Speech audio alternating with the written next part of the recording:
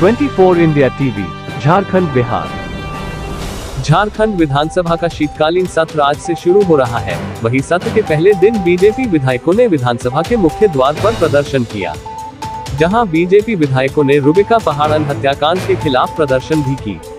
पर विधायकों ने आरोपी दिलदार अंसारी को फांसी की सजा देने की मांग करते हुए राज्य सरकार पर निशाना साधे, जहाँ उन्होंने कहा, हेमंत सरकार तुष्टिकरण की राजनीति कर रही है। वहीं बीजेपी विधायकों ने सरकार के खिलाफ नारेबाजी भी करते हुए नज़र आए